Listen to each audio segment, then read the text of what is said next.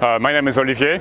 I am from France and I'm here visiting Stockholm. And uh, I've always wondered about Italians how they can actually speak for half an hour without breathing and stopping, and at the same time they have this uh, uh, gesture movements like this. Blah, blah, blah, and I, I, wonder what's the secret behind it, because I cannot do it. I have to pause. Okay, I, I would like, would, would love to, you know, ask you and to teach me how can you speak for half an hour without breathing, and uh, how can you uh, can you let me know how you can be so passionate about coffee and argue about coffee for two hours, and uh, and uh, to be so passionate about life because I'm not. I'm get quite depressed very often actually. I'm depressed now.